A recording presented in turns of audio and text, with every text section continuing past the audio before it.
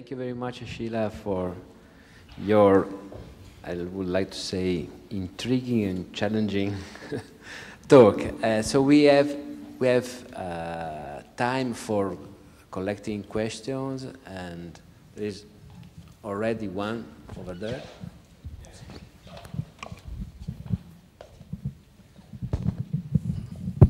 Yes, thank you very much for your really fascinating talk. And uh, I fully agree uh, with you about the fact that uh, in STS we need to uh, investigate more about the power relationships and inequalities. And on this, on this fact, uh, I would like to make a theoretical point. The fact that um, Latour and uh, Law borrowed the, the, concept of actant from Greimasian semiotics by but they did not clarify that in uh, semiotics, uh, actants are always asymmetrical. So uh, in semiotics, actants, uh, there are hierarchies, there are power relationships um, according to a, a, typology of roles in which we have, uh, uh, for example, actants who manipulate, actants who express judgment who are located on an upper level with respect to other roles. So uh, maybe we, we need to refine also the analytical models. Just a, a brief comment. Thank you. Yeah, so uh, th uh, thank you for that intervention. And, um, but one of the things I would say is that uh, one of the problems I have with economists as a class of um, very intelligent uh, disciplinary professionals is that they think that everything needs to be rediscovered through uh, the basic presumption of their field about how individual preference is the thing that organizes the world. And I sometimes feel that way about actants. And I was, um, last year I was at a meeting where the punchline that somebody came up with was actors are actants too. And that seemed to capture to me the, the absurdity of the full circle.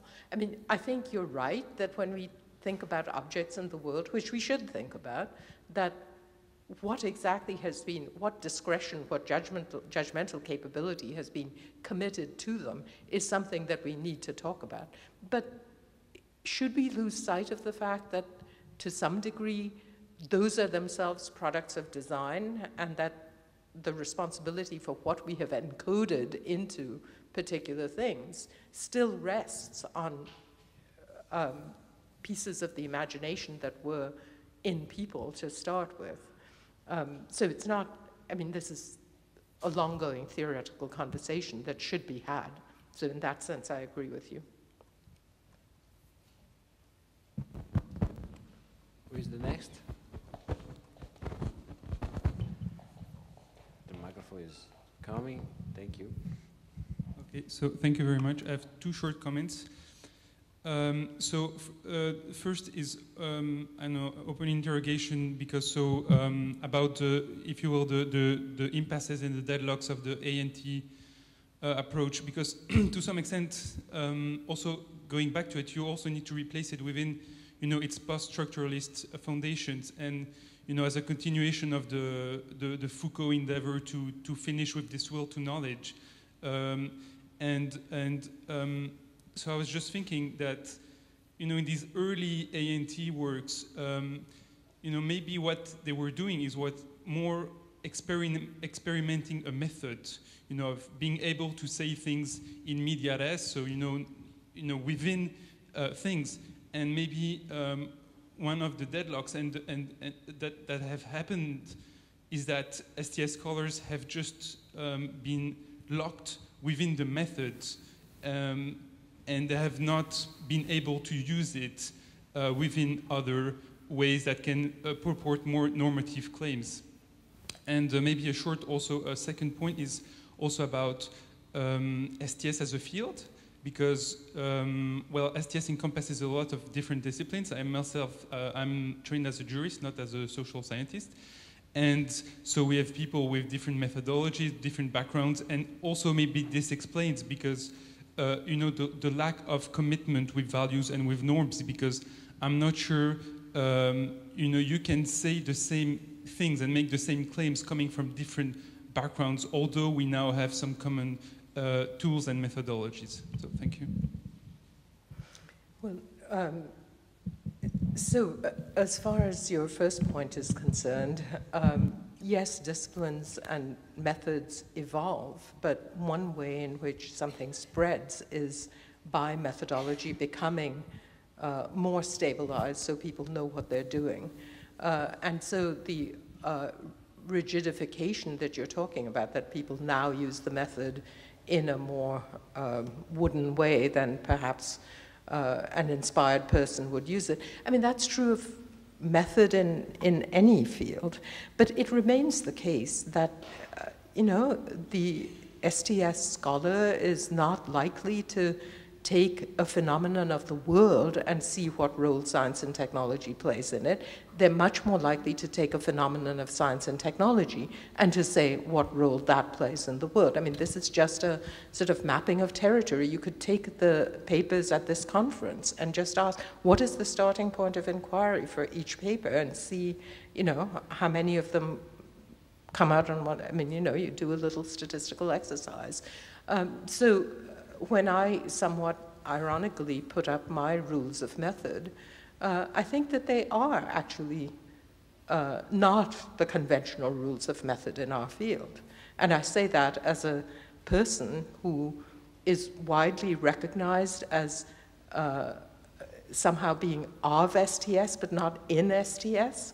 I mean, that is you know, even within my own field, if people want to say, you know, name some STS scholars, this is not the direction that, that is the majority direction. I think that the historical basis for this, to some extent, lies on the two sides of the Atlantic. I mean, that is the preoccupation with semiotics, etc., is not so, so much what the American STS started with. American STS started as science, technology, and society. It was not theoretically very sophisticated, but the and society was important. And, you know, many of us, I mean, I, after all, headed a department where there was a politics of name changing from science, technology, and society to science and technology studies. And now at Harvard, where I have a very different uh, set of institutional constraints, I purposely named my program Science, Technology, and Society. And you can ask, you know, why I did so. But the point is that it does have to do with these rules of method, and it relates to your second question as well, that there are indeed different theoretical, I mean, different disciplinary things that come into STS, but increasingly I hear younger STS people saying that they're being trained in STS, and on this side of the Atlantic, when they say they're being trained in STS, almost inevitably it means ANT. So, you know, I'm glad you're a jurist. Uh, I am a lawyer by training, I say. Uh, so, uh, you know, we have that in common. But uh, the number of people with legal training in STS, you can count on the fingers of one hand on my side of the Atlantic.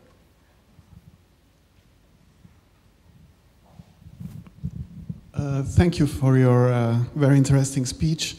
Uh, I just was I was just wondering two things. Um, while you were uh, at the very end of, of your speech, uh, at a certain point, if I didn't misunderstood, you said something like a sociological turn in STS. Um, if I misunderstood, please forgive me. if not, I, I, would have asked you if you could uh, add something about uh, the idea of a sociological turn in STS. And the other thing so was. Could you just repeat that? Sociological, what did I say? Turn. If I, oh, sociological if I got it right, yeah. you said something like uh, a sociological turn in STS at a, at a certain point of at, okay. at, the, mm. at the end of the speech. So I wanted to ask you if you could please add something more, but maybe I misunderstood what, what you said. And uh, the other point was about the ontological politics you were uh, mentioning at the end. Uh, in fact, from your speech, I was expecting something about a kind of performative politics. So I, I would also ask you if you could comment on this some, some more. Thanks. Yeah, thanks. Well, uh, by the sociological turn, all I meant was that history and philosophy of science have both been around as of science and technology fields for a long time, and sociology is a relatively late comer. And all I meant by that was that at some point people started saying, let's not just look at the historical evolution of scientific concepts, history of science, uh, let's not just look at what philosophers say truth is, but let's treat it as a human and social activity, and therefore let's turn it into sociology. Um, but what I was contrasting that with is what about a political turn? I mean, you know, so how, what would that look like? Um, sorry, what was your second point? Oh, about performative politics. Yeah, well, I could say read the book. I mean, you know, the new book that's coming out talks about performativity in the introduction a lot. Um, I think that it's something that I would put side by side with practices which uh, get a lot of attention. Um, Elizabeth did a wonderful job yesterday of pointing to practice as a field of study.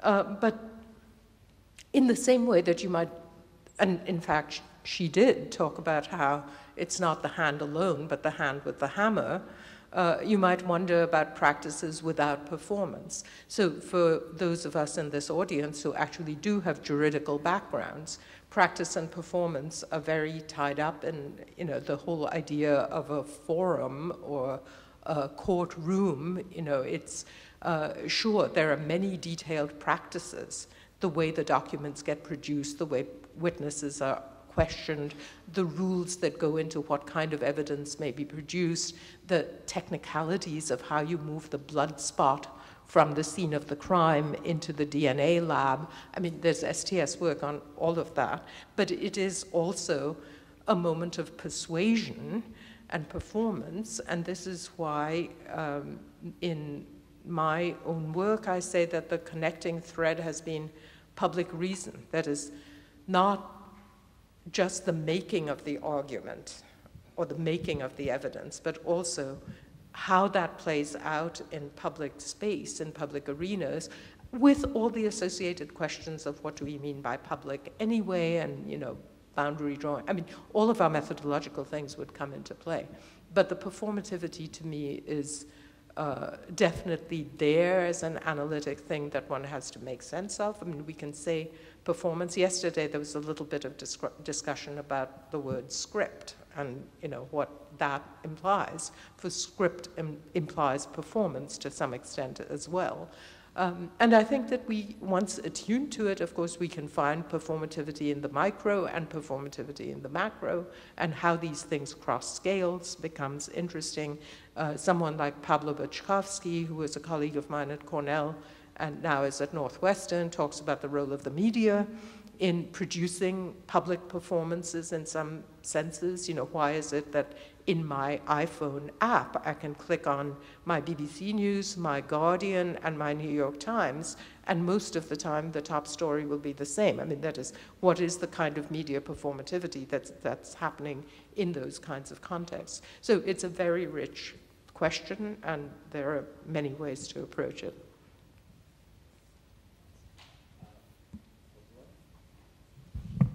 Um, thank you for, and as always, a stimulating presentation.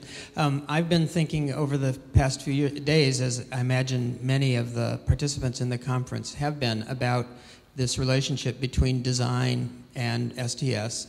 And um, I'm hoping to, to um, get you to talk a little bit more to, to, to try and um, separate or, or see how those things connect. And the particular thing I was thinking about is uh, that uh, there, uh, within the STS perspective, there's been a, a focus on this, uh, uh, uh, the notion of there being a, a techno-scientific imaginary. In other words, that a kind of a classic division between science and technology uh, needed to be overcome uh, in, in terms of constructing a, a perspective, an STS perspective. And it's, it's, it seems to me that, um, that in some ways that that conjoined perspective uh, creates a situation where we ultimately are thinking more, if you will, about science than about technology, and that um, by thinking about design as, in some ways, a, a point of mediation between those two things. Um, and, uh, and, and trying to put those kinds of perspectives to the fore, you create space for the kind of politics that you're talking about, um, the, the, forces of the world coming into existence, as opposed to the more rarefied, um, purely scientific imaginary. Um, I'm just wondering whether, whether there's, a, there's a space there for thinking about design in those terms. Um, yeah, definitely. I mean, I would say two things. One is that um, to some degree there already is a convergence between theorizing in the design field and in the STS field, and to some extent, I think that those need to be brought together more. So, uh, one of the things I'm particularly aware of being at Harvard is that critical theories of space are very important in STS, where we've been talking about boundaries forever and also increasingly about spatiality itself as uh, a piece of what needs to be analyzed, particularly, for instance, in connection with scales at which technologies apply and so on. And so I think that the, I mean, you know, if you're in STS, the first name you think of is Latour. If you're in uh, design or critical geography, you think of Lefebvre. I mean, you know, the, the, there are different L words uh, that, that come to mind. So, you know, uh, what happens if the STS person chooses to think the other way and the design person the other. I mean, you know, these are thought experiments that one can undertake. And, and I think in both of these fields, there's a newfound interest in temporality, which uh, again offers a sort of common space for thought, um, and possibly also in um, uh, well, I mean, there are other coagulating ideas like sustainability. I mean, that is, uh, both of these fields are thinking about, about those concepts, but they're doing it in somewhat different ways. So I think it's a very fruitful conjunction simply from the standpoint of different theoretical feeder uh, points of origin and uh, um, the emphasis that those points of origin uh, produce in, in the work that people are thinking about.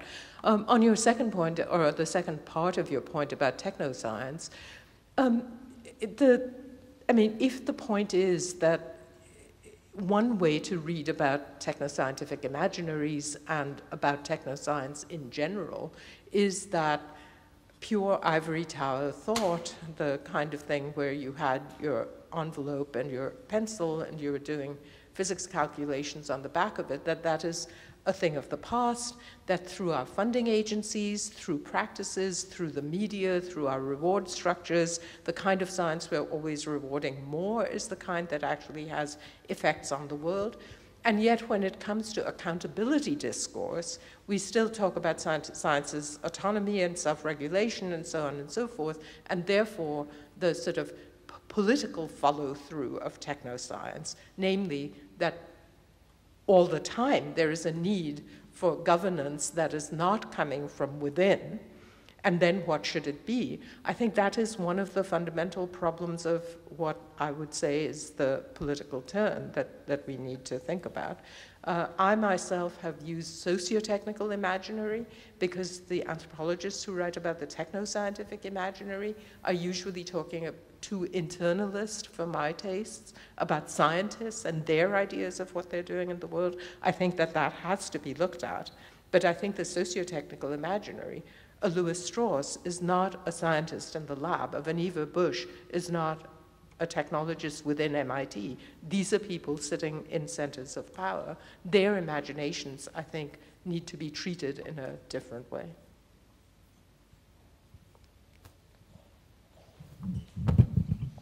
Thank you very much for, for your talk.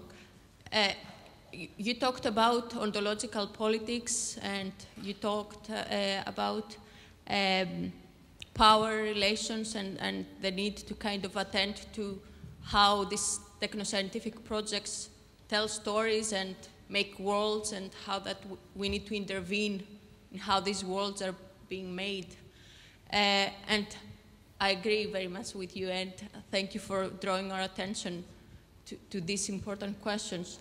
Uh, and, but at the same time, I wonder uh, about. Uh, it seems that what has recently been termed as feminist STS, I don't know if it is a, a, a term that uh, has been endorsed uh, more generally. It's uh, they share, it's exactly this sort of questions and this sort of politics that they have been. I'm talking about the work of Susan uh, Leigh Star or of Haraway of, or of Suchman. There is this kind of tradition of 20, 30 years uh, of work that they are trying to bring our attention into this, this sort of topics. And uh, I, I wonder whether how they have become uh, kind of, they are present into their absence, that somehow they kind of, this work does not appear in the disciplinary discourse, has, although it has been around for quite a long time, it doesn't seem to kind of, it still seems to be absent as, as a kind mm. of a voice, and I would like your, your opinion well, about is it something yeah. we dare not speak its name, kind of? Where, no, I mean, uh, it, look, uh, it's a very important uh, point, and again, one of the things I do in my introduction to this forthcoming book is set two passages of Latour and Haraway side by side to show how radically different the constructivist imaginations of those two people are. But um, a few things. I mean, first of all, feminist science studies and feminist technology studies is hardly a non field. I mean, you know, there are plenty of people working in it, and I think particularly people who are working on biomedical topics and everything around reproductive technologies, but also gender and disease. I mean, you know, these, these are areas where I think feminist work is alive and well. Uh, a second point, though, is that um, the leading figures in feminist STS studies, I mean, just in the way that you named them, uh, it's tended to be American and it's tended to be identified with American identity politics. Uh, so, for instance, you didn't say a name like Bina Agarwal. I don't know if you know who she is. So, she is a heterodox economist uh, but she's definitely a feminist, and she does feminist gender studies on uh, the economic implications of uh, development policies. Uh, but she would never be recognized within STS as a feminist technology studies scholar, even though if you started with some philosophical definition of the ontology of a feminist technology scholar, she would probably meet all the checkboxes that you might check off. So I think that feminist STS, to some extent, you know, like it or not, in the works of Suchman and Star and Haraway and Clark and Fujimura to some extent, and you know, it's identified with more the identity side of things and less the structural side of things. So, the, and you know, this has been true of a set of debates between, for instance, British feminism and American feminism. Now, feminism, not just feminist STS. I mean, this has been uh, a thing that people have been talking about within feminism for a long time. Who is the real enemy? What is the outcome that we're really trying to to solve and so on and so forth.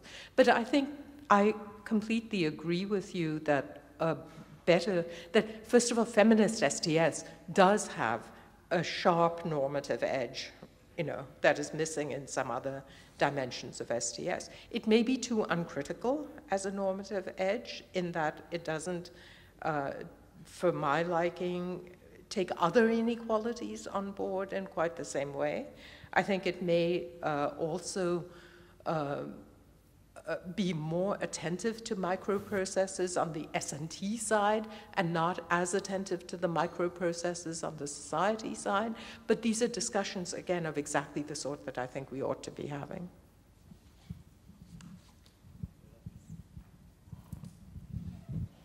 Thank you very much. I'm Carol Temeno from Arizona State University, and um, my question is more related to, well, in this wide-angle vision of STS, if there is like a space for like like self-reflection of the undiscipline and the spaces where the knowledge is being created and power relations which within the STS theory and practice in terms of um, well more thinking in like if it falls as well into like uh, issues that it critiques in you know like relations between like global north, global south, and who gets to belong to the STS community, who gets not to. I mean, and there are like, for example, in Latin American, Latin, a lot of Latin American perspectives which are more familiar about uh, dealing with issues that uh, you mentioned, but like from years ago that they don't get into the world of STS, but the, all the boxes are clearly checked and they're more like anti-imperialism yeah. visions and so on. So I don't know if you could comment a little bit about that.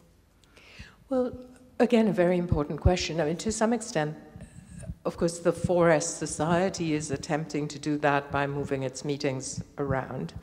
Uh, I personally have somewhat mixed feelings about all of this. Um, so I think that the worry for me is about uh, whether we maintain a sense of what STS is in the process of moving it around in different ways. I mean, there is a risk if you look at the current complexion of 4S meetings that just about anything and everything counts. I mean, you know, that, that there's very low entry barriers and, you know, apart from money and apart from language, which are two extremely high entry barriers, um, as to who gets to count as an STS scholar and what work we recognize and reward as STS scholarship and so on and so forth. So I, you know, um,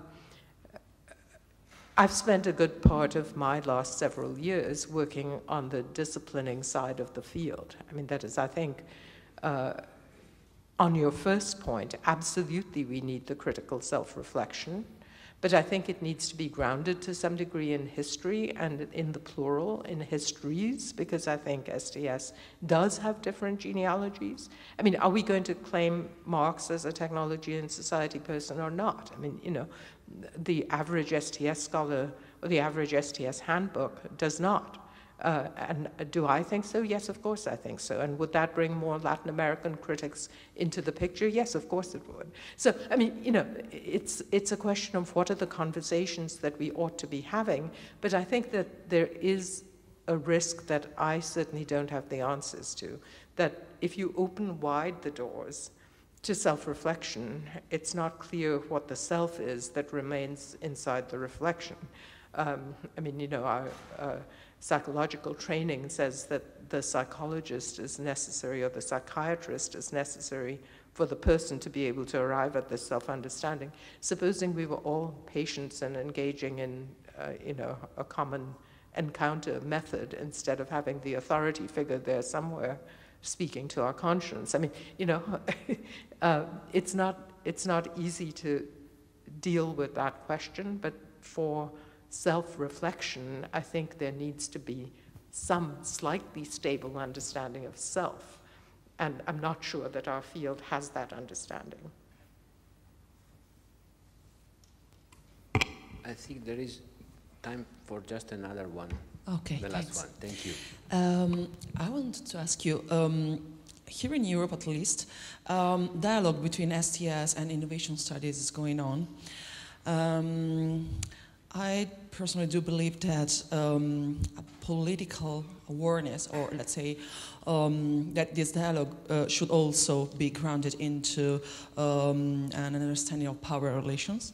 And I just like to ask you whether you uh, had the opportunity up to now to uh, look at how uh, this uh, political turn can also address this dialogue between STS and innovation studies. Thanks.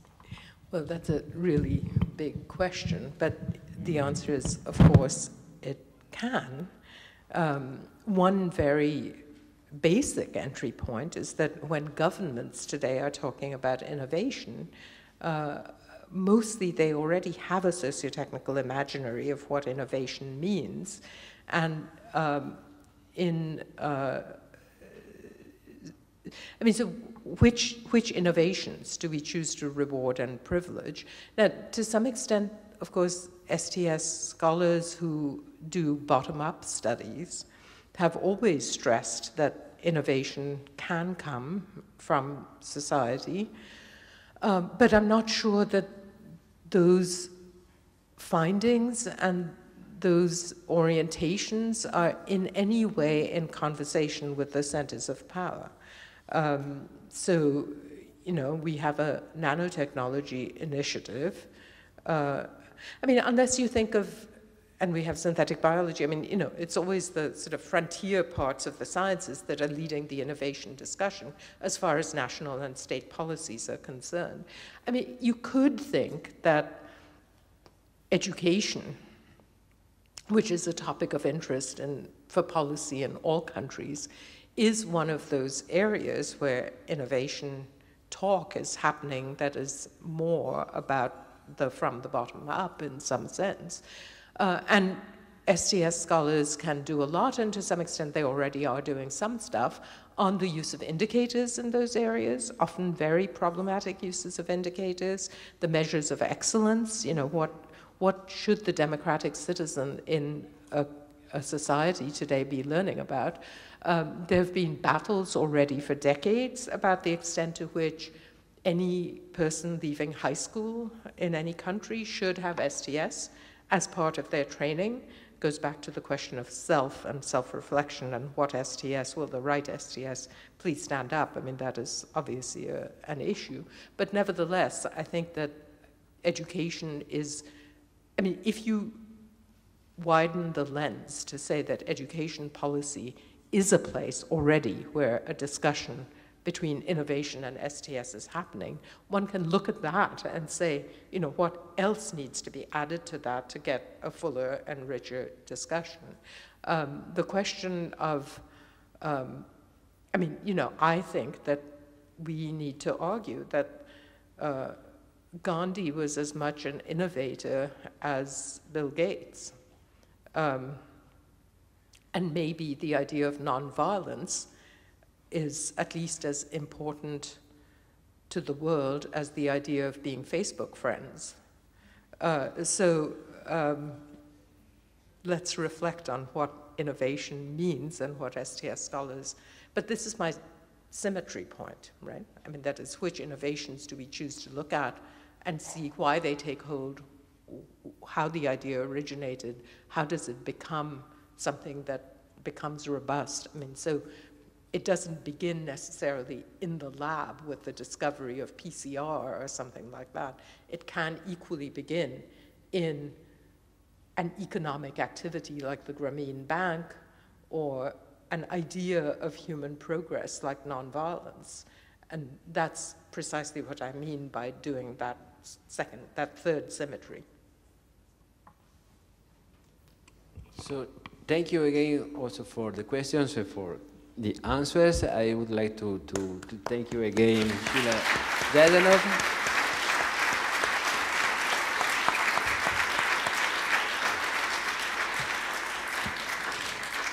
And before giving the last, uh, the floor for the last word to, to Paolo Magaudda, I would like to, uh, to ask to all of us to thank the steering committee of STS Italia and the scientific committee uh, of the conference for uh, organizing the conference.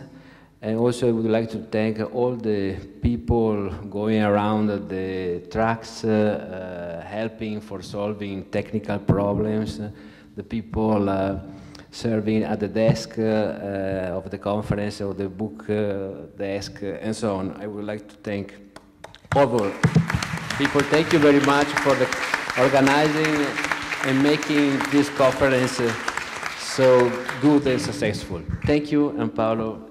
Yeah, just a few words uh, to uh, follow with th uh, thanks uh, to many the many persons who um, make this event possible, uh, because conferences are in some way like movies that they ends they at the, at the end um, there is um, a list, a long list of people who who participated. Politecnico di Milano was one important uh, mm, point because uh, uh, they hosted us and collaborated with STS Italia. The Department of Design, the doctoral uh, program in design participated also in the event.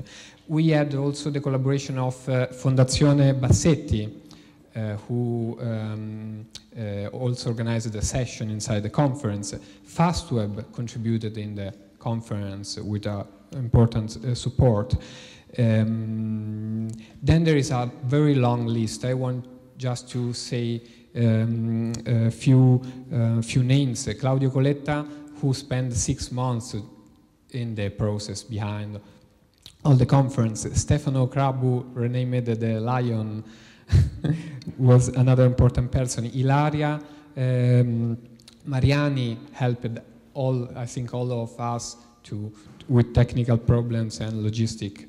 Uh, then Tiziana, Michela, Marco, um, Lucia, uh, Andrea, um, Laura. Uh, a lot of people uh, um, put many, many, many um, time and uh, efforts in the conference. Um, one more person we have to thank very um, a lot for the conference, which is Paolo Volonté, uh, who spent a lot of time, a lot of energy. He put a lot of passion in the organization of the conference. He put his home, his car, part of his family. I mean, so thank you a lot uh, to all these people.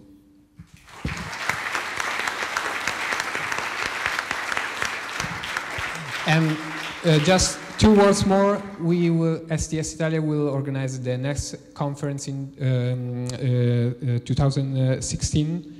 Uh, but before we will have an international summer school next year, if, someone of you is interested. And I remember you that uh, there is uh, the Italian Journal of Science and Technology Studies, and we hope that many of the people who um, presented in the conference will send an article uh, to the journal. Thank you.